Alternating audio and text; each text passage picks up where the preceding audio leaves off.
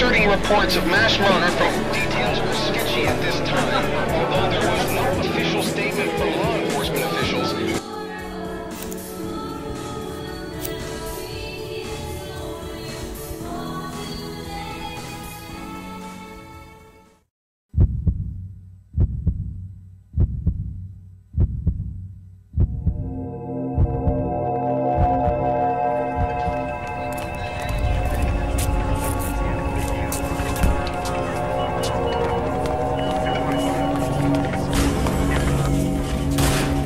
What's taking so long? Hurry up!